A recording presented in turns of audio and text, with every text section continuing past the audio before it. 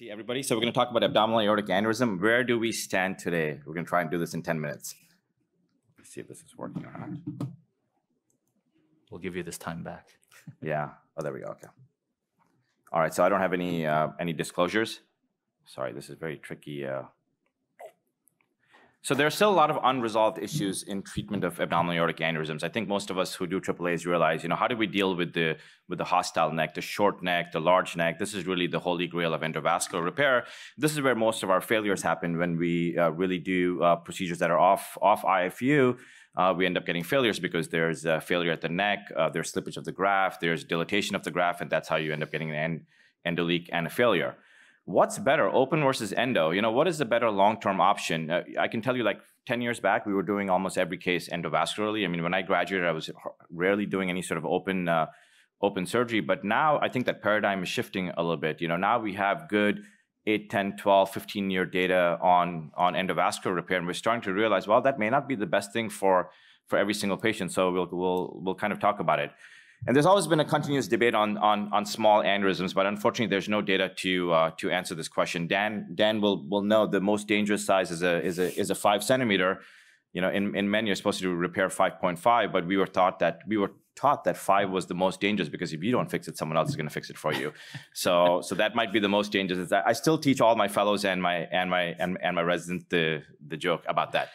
So we have some current limitations with the devices that we have. Obviously, a neck length uh, has to be equal or greater than four millimeters, which is pretty short if you think about it. You know, you're, you're, you're hoping that the stent seals in four millimeters and it kind of gives you a repair that's that's long term. You know, that's the that's the that's the durability of the of the repair. So that's a Z-Fen, and then if you use an Endurant with uh, with anchors, our diameters are still limited to 16 to 32 millimeters, and we cannot have a neck angulation, uh, you know, greater than uh, greater than 90 uh, 90 degrees. I'm not going to talk about any other limitations like like vessel sizes or stuff. I think those are those are those are pretty straightforward. But these are the main limitations of the of the devices.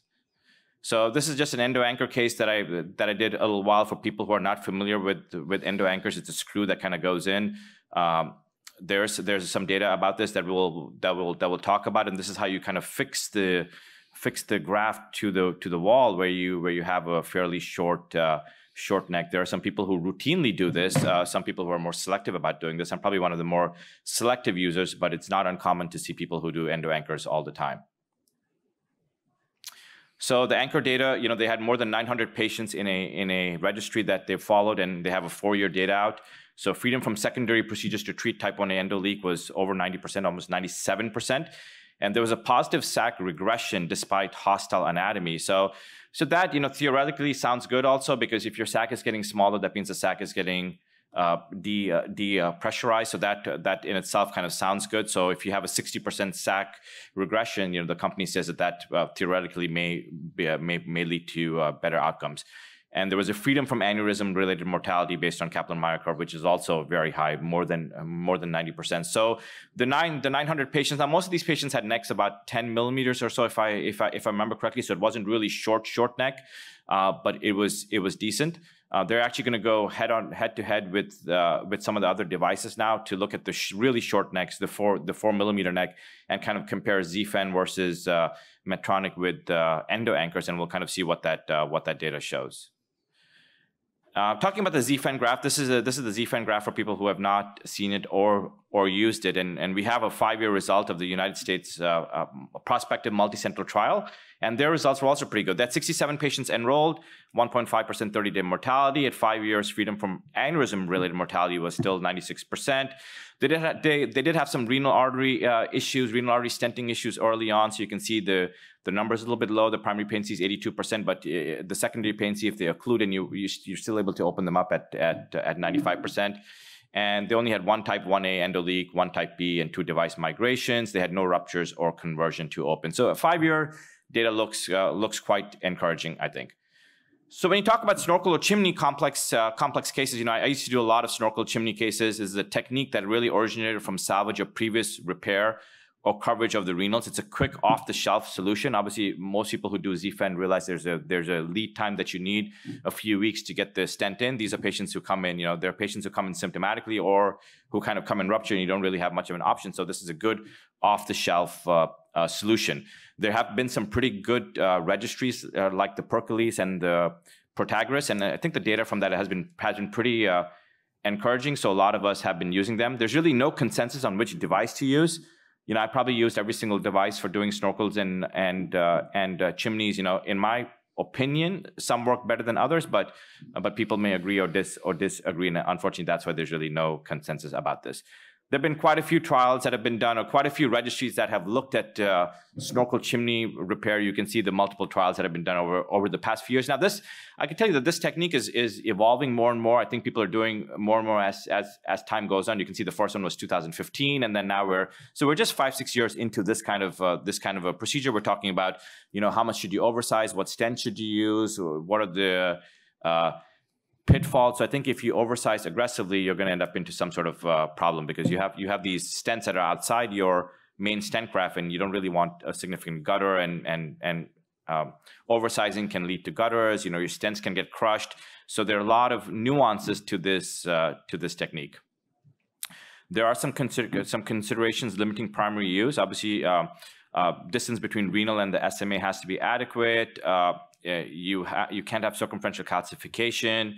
Uh, renal artery diameter has to be acceptable to to take a stent. If it's a cranial facing uh, renal artery, that makes it a little bit more challenging. And obviously, things like shaggy aorta, where you have more manipulation, you have to realize that you know a lot of these snorkels are put in from above, so there could be a higher risk of, of stroke when you do these kind of uh, these kind of cases, as opposed to Z-Fen, where really everything is done from the from the groin. So if you look at the 2000 European Society uh, guidelines, you know the tech, the technique is recommended in urgent cases or when fenestration is not possible, right? Because for, for fenestration, technically you do need a neck of four millimeters, and sometimes you don't really have that. So this is an option to to consider for someone who's fairly sick. So what's the data on snorkel chimney versus uh, versus uh, fenestrated? Uh, when you look at the VQI initiative, they actually looked at a bunch of bunch of patients that underwent both kind of procedures. I think they looked at about 1,400 patients, if I'm not mistaken. Let me see over here.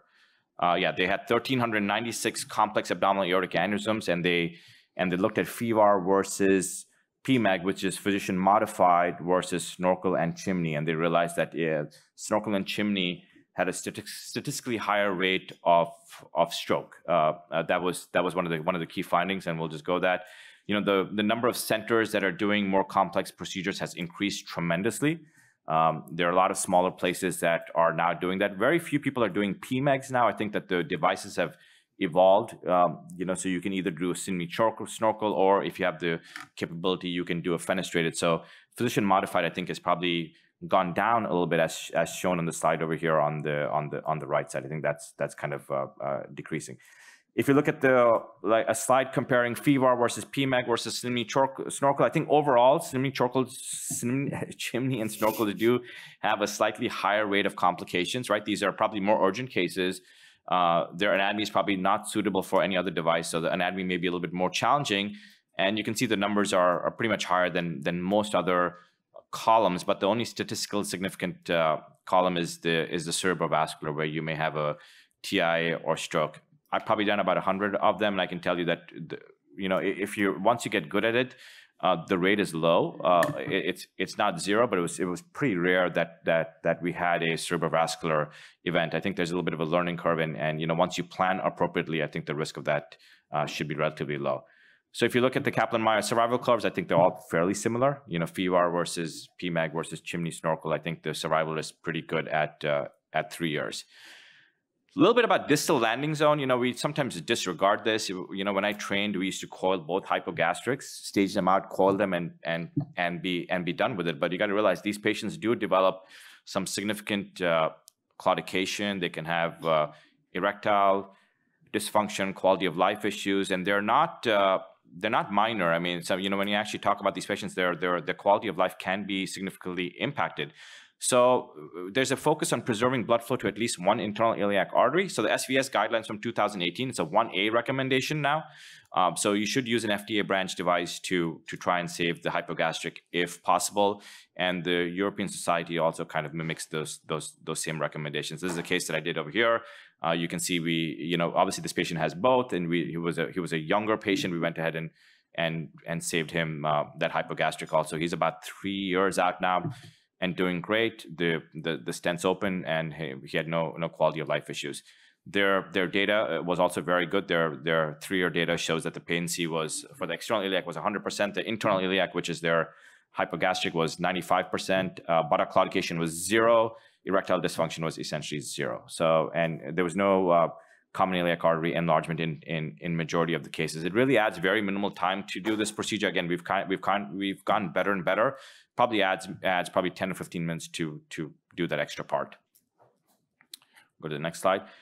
So this is always an interesting thing, you know, open versus endo dilemma, right? I mean, the A is the open repair and kind of B is the endovascular repair. What should we be doing? I mean, uh, all of us who've done enough, we've seen a lot of failures from stent graft. Some of the failures are pretty bad. So what's so what's right for the patient?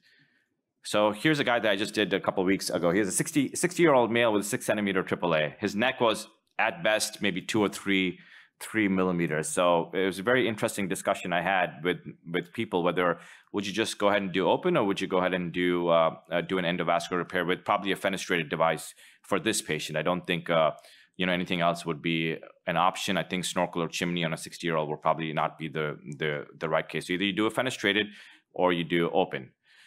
So when you when you compare the data, you know when you start looking at endovascular versus open repair, and this is a systematic review and meta-analysis of all the randomized control trials. I think that gives you a lot of a uh, lot of interesting data points. The 30-day mortality clearly endovascular is better. We, we, all know that. Even even in the even in the hospital, mortality uh, favors EVAR. I think as you start going further and further going out, and if you look at like C and D, you know, C is six months to four years, still favors EVAR, but I think we're getting close to the middle and as you go to four to eight years, that that shift is changing. This is aneurysm-related mortality, not all-cause mortality, which which you know we say that is usually equal in both. But when you start looking at aneurysm-related mortality at four to eight years, you're starting to see a trend where it favors open repair. And uh, greater than eight years, so if your survival is more than eight years, then then clearly open favors uh, open repair. And here you go, here's a slide of that. Uh, we know this because the five-year reintervention rate after abdominal aortic aneurysm is quite high. One in five patients requires a reintervention. That's a 20% reintervention rate. So this is looking at the VQI, looking at all the Medicare patients, and they they looked at a bunch of patients. So 12, they looked at about 13,000 patients that underwent underwent repair, and what they found was the five-year reintervention rate was 20%, fairly high. And this is what we quote our patients too. We usually say, you know, I probably quote them about 10 to 10 to 15%. Again, depending on the anatomy of the case, right? If you know the anatomy is bad and you're pushing the the the limit of the device, you know you're probably going to have a failure. And the and the and the late rupture was about three percent, even patients who did have stent graft repair. If you did a rupture repair endovascular, the reintervention rate was about 30%, symptomatic was 25%, and elective was 20%. Black people did worse, 30% versus 20% reintervention rate. And the larger your aneurysm, the higher chance that you're going to have to re-intervene, probably because you know, again, either the sizing wasn't correct, the neck was short, and you underestimated the neck. The aneurysm extended pretty high up, and you didn't really see that. So all all, all those factors do come do come into play. So I ended up doing an open repair on uh, this guy. I mean, the guy the guy's 60 years old. He was home within a week. He's done. I don't have to worry about it. And I thought this was the wrong choice. I had a discussion with some other providers who wanted to do fenestrated. I didn't think that was the right choice. And that was based on the data that I see. The guy's 60. He's going to live about 20, 25 years, hopefully. Um, and an endovascular repair with that two millimeter neck is going to fail 100%, or we're going to have to re-intervene or, or do something. It just, just, it just wasn't worth it. So if you look at the New England, I'm sorry, the National Institute of Health guidelines, uh, these are published in 2020. There's a, there has been a paradigm shift.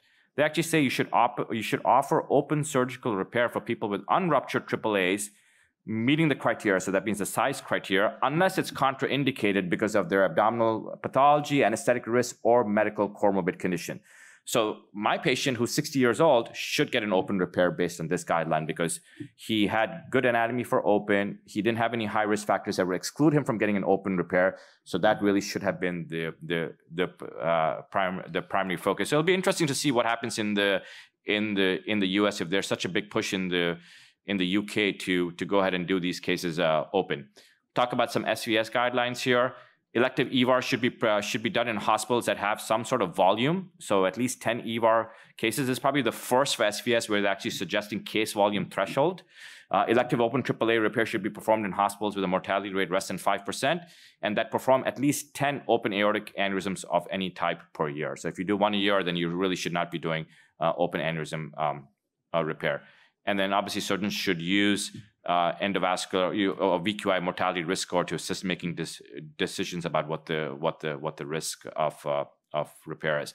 Endovascular repair is preferred over open repair for treating ruptured aneurysms if anatomically feasible. I think there's recently been some some data, but I think most of the data supports that these patients actually do much much better if you're able to get them through an endovascular um, repair. There's some pretty good uh, upcoming technology that's coming. A lot of trials are going on uh, the excluder, the Zenith, uh, P branch, T branch. I'm sure there are more devices now that that kind of keep popping up, and and these are all kind of you know fenestrated devices to. Uh, and this goes into the realm of really treating thoracoabdominal aneurysms. We're not just talking about infrarenal aneurysms, but you know, once you start extending up towards the renals and you don't have a neck, then then this is the this is the technology that uh, is going to be upcoming. I mean, for people who do open thoracoabdominal repairs, uh, you know, this operation is extremely morbid. We've done quite a few. Complication rate is almost 100%. Uh, you, are going to have some sort of issue. And obviously, paralysis would be the worst thing. And, and I've had a couple patients who've gone paralyzed after this kind of an operation. So if we can, if we can salvage that, you know, if we can minimize that risk, that that that would be helpful. And I think that uh, ends my talk. Thank you.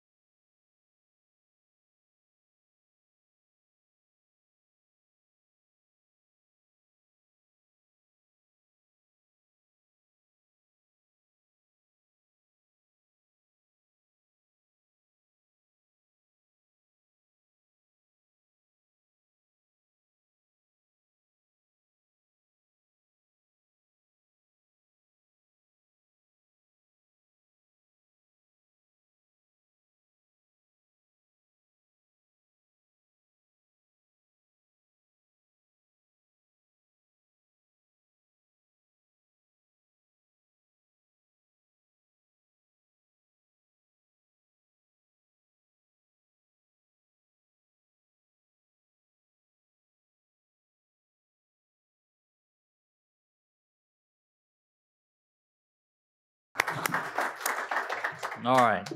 Thank you to the speakers for a, a like amazing session. A lot of jam-packed information there. We're gonna take like a four-minute stretch break and then uh, get some coffee, and then we'll return in like four. It's 9:08 right now, so we'll come back at nine.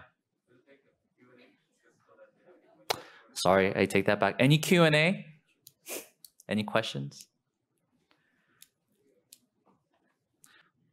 So one of the things I, I know we glossed through it very quickly, and maybe I can ask Vishal since he's standing up here, um, is we talked a lot about the patency data for iliac vessels, but I will tell you one of the most feared things in an iliac intervention is perforation. You get a perforation in your tibials, uh, if you get a perforation in your fempop region, patient will for the most part do okay, but you get a perforation in iliacs, patients can die. I mean, uh, are there like particular lesions that you worry about? Um, any bailout systems that you keep in the room? Right. So uh, I guess okay. so for perforation, like I said, you always have to be cognizant of the fact that you know the degree of lesions, calcification, eccentricity, the length of the lesion is what you have to consider, and it's all about how you feel. The more you do interventions, you'll realize when you go up on your balloon, whatever size you take, like I usually recommend undersizing to begin with and then do sequential balloon up.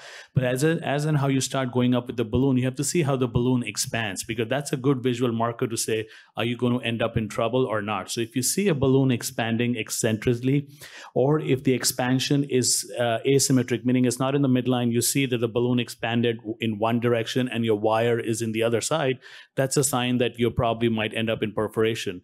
Or if you if you have a little bit of outpouching in your balloon or uh, if you see that that's a sign that you're actually already perfed and one of the symptoms which you always look for is the patient cries of pain so if, if you're going up with the balloon and the patient states oh i'm having pain in my back you need to stop immediately and get your balloon down because remember all the nerves are in the adventitia so that means now you're stretching your balloon is actually not even stretching the intima and the media you're actually stretching the adventitial part of the vessel so once you're stretching the adventitial, your chances of having a perforation are way high up. So these are certain markers or thought processes in mind when you're trying to intervene on this iliac. And like uh, Dan talked about, I mean, the main thing is, especially when you do balloon, when you pull your wire back, like how you do coronary, the people who are doing interventional cardiology, is keep your balloon on the wire when you pull back and take a picture. So, so that way at least you can reintroduce balloon tamponade, reverse anticoagulate, and just put a covered stent if you have to. And for Sriya, I know we talked a lot about like IVL, we talked about lithotripsy. What pressures are you taking these balloons to to your uh, lithotripsy? So usually the nominal, they should just say you want to oppose the vessel wall. So we usually do like four atmospheres, uh, low inflation. And then um, after the pulses, we post dilate very minimally another two millimeters um, j- just to get good expansion. So I think I think that's su- such an important point, right? The lithotripsy balloon is not meant to be like a pressure balloon like your regular balloons. The whole idea is the pulses are supposed to uniformly crack the calcium or modify the calcium so you can get uniform plaque expan- expansion of the vessel and not necessarily using pressure to push everything out. Correct. I have one question. Uh, oh, go ahead, please. Is there any concern for distal embolization when you're doing? That's a good question. Any concern for distal embolization when you're doing the lithotripsy, Sriya? Um, I mean, I think the data from the Disrupt PAD show that the complications from it, even compared to a regular balloon angioplasty, was very, very low. The distal embolization was less than 0.5%. Um, so I think, I mean, it's probably even safer than using a regular. No, I agree. I mean, like Dan said, it's not really a PTA balloon to really expand your lesion. It's all about transmitting your ultrasound waves into the vessel wall, so you're not really cracking it open. And uh, because it's affecting, not really scoring, I don't think there's there's minimal uh, distal embolization. You don't have to be really concerned It's- about it. I agree. I think it's similar to regular angioplasty. If you think about what part of the vessel ends up getting significant calcification, oftentimes it's the medial layer. Right. Medial layer, as you start to get plaque growth into the intima and you get disruption in the intima, you get some of the intraluminal calcium. But for the most part, it's not like it's it's not like a vibratory thing that's cracking things in a significant way. So I actually haven't seen any embolization with any of my shockwave cases. Go ahead. One thing I'm one thing I might add. questions. Yeah. Okay. One thing I might add is um, we just had a rep uh, from Shockwave Kamtar Institution. They said that the yeah, like you're saying, the point is not the four atmospheres of pressure to expand the lesion. It's more the 50 atmospheres of actual pressure by the the lithotripsy wave that's just shattering the the actual calcium, and most of it is medial, as you said. Correct. Uh, should we uh, go uh, directly to shock wave in uh, as we as we see in, the, in this case, or uh, we should try NEC or uh, cutting balloons first, and if uh, they didn't succeed, we uh, go to uh, shockwave. That's a stylistic stylistic question. I mean, Karthik, what do you do? Just expand. Uh, I, I personally don't never use vertical in the the, Almost never. Unless it's like really. I have never used one, so I can't comment on it. I'm the same way. I mean, I'm Yeah. typically not using cutting balloons in the iliac region. Um, for the most part, at the whole game in the iliac system is stay out of trouble. You know, to make sure that you don't perforate anything. So if you have an option to be able to kind of expand the lesion at lower pressures, I think that's my preferred approach. Right. I mean, so you have to always realize, I mean, the lithotrip, the shockwave balloon is not a cheap balloon. So you can't, you have to do the economic side of working as well. What's the viable? You have to have a selective cases selection. You can't start using shockwave on every patient. So you have to re, uh, think about the economic aspect if the patient really needs a lesion. Of course, if the patient needs it, we have to do it. But mild to moderate calcification, NC balloon, expansion, serial dilatation probably will suffice. And with the stent placement, we'll get your gradient out. So it should be do. Only in severe calcification do we really have to use it. Uh, has the shock balloon ever used for severe aortic disease? I'm talking about abdominal aorta. Uh, she is not a candidate for surgery. Uh, she would uh, better be off with an aorto iliac uh, grafts, but she's not a good candidate for that. But the distal aorta is severely calcified and she's symptomatic. Would you consider a shock uh, wave? Right. I've seen a couple of case reports. I've seen a couple of case reports where people have done have done that, but you have to have a backup plan for that, right? If something happens and you end up rupturing the aorta, then then you you know if it's an occlusive disease, you probably have to have like an Endologix graft or something available that you can that you can deploy. Um, and we can, you know, I mean, I think we, we'll probably talk about this tomorrow too. You know, that's a great option, anyways, for aortoiliac disease where you can where you can do that. But yes, there are case reports. It's not recommended, but I've seen it. We've used it for like kissing uh, shockwave balloons, Yes. as expensive as it gets. I mean, my goodness. But uh, and I didn't know whether or not if you pulse the shockwave balloons next to each other, are the balloons going to explode? They don't explode. They don't It actually actually did okay. Um, and especially for some of those lesions that go all the way to the bifurcation that was super calcified, we used it. I understand it's off label and very expensive, but for this particular patient, we used it. Now you know why Dr. Han gets a title every six months, right? So he's having a lot of fun with the balloon. That's how you get downgraded at Mount Sinai. Actually. All right, well, let's take a break, I guess. All right. Thank you very much to all the speakers. We'll take a quick break and then we'll come back.